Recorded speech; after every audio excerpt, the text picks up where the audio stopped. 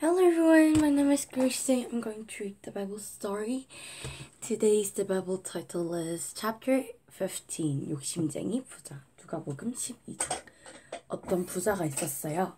그 부자는 큰 농장을 갖고 있었어요. 부자는 집들도 가지고 있었고 돈들도 많았어요. 커다란 창고들도 있었어요. 그 부자는 많은 것을 갖고 있었어요.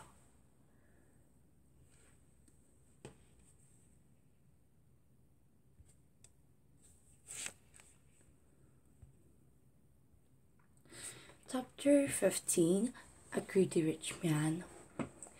There was a rich man. He had a big farm. He had big storm houses. He had good houses. He had a lots of money. He really had many good things. The greedy rich man had many things for him.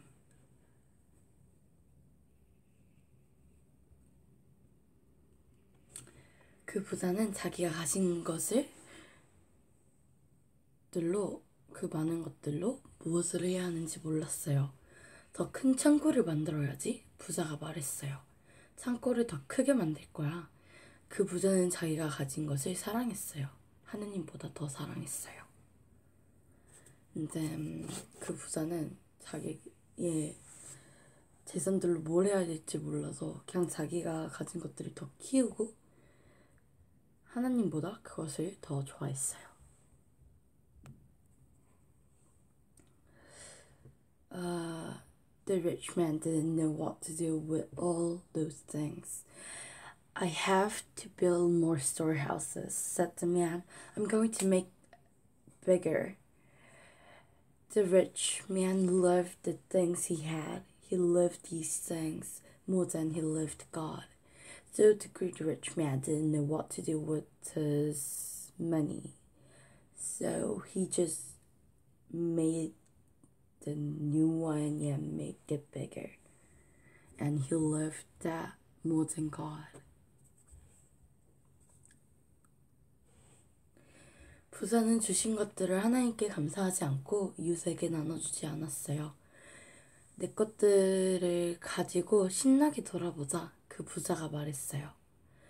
난 어떤 것도 거저 나눠주지 않을 거야. 내 거잖아. 난 모두 필요해.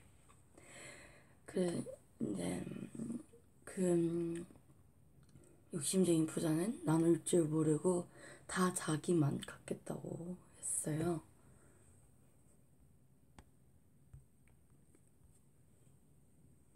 The rich man didn't thank God for the things he had.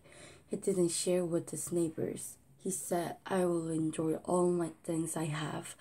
I won't give anything to others. They're, they're all mine. I need them all. So the greedy rich man thought, I will never share my things. I should, I will use it all. So he didn't um, help than his neighbors and he just took it. But the, um, he loved that more than God. That's the problem. And we should share. 오늘 밤 너는 죽을 거야. 하나님이 말씀하셨어요. 그러면 다른 사람들이 너의 것을 모두 가져갈 거야. 어, 이제 부, 욕심쟁이 부자가 이제 나눠주지도 않고 그 자신의 것을 하나님보다 더 사랑해서 하나님은 너는 오늘 밤에 죽게 될 거라고 말씀을 해주셨어요. Sorry. Sorry. 그러면 이제 그의 것을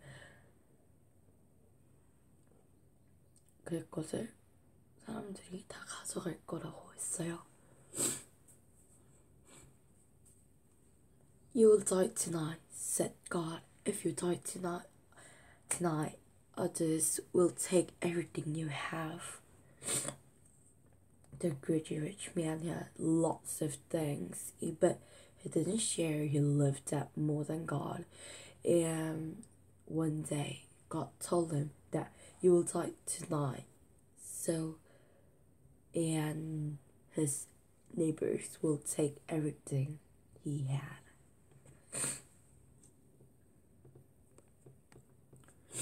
그 부자는 이런 소리를 듣고 싶지 않았어요. 그리고 믿지도 않았어요. 결국 그날 부자가 죽었어요. 그러자 다른 사람들이 와서 부자의 물건을 모두 가져가 버렸어요. 이제 욕심쟁이 부자가 자신의 최후를 맞이하게 됩니다. 그 부자는 하나님의 말씀을 듣지도 않고 믿고 싶지 않아 믿지 않았어요. 그리고 결국 그날 밤 부자는 죽게 되었어요. The rich man didn't want to listen to God. He didn't even believe it. He died that that night after all. Then other people came to take everything what the rich man had. Um, the rich man didn't believe God, so he died.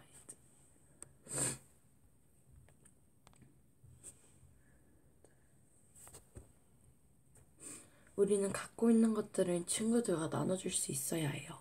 왜냐면 우리가 갖고 있는 것, 모든 것들은 하나님이 우리에게 베풀어 주셨으니까요. We should share with others. God gave everything to us. We have to share our things with our friends. Yep. Today I read the Bible story to enjoy them, and next time I'll read another good story. Chapter 16 잃어버린 양을 찾은 착한 목자. Now let's see you next time. Bye.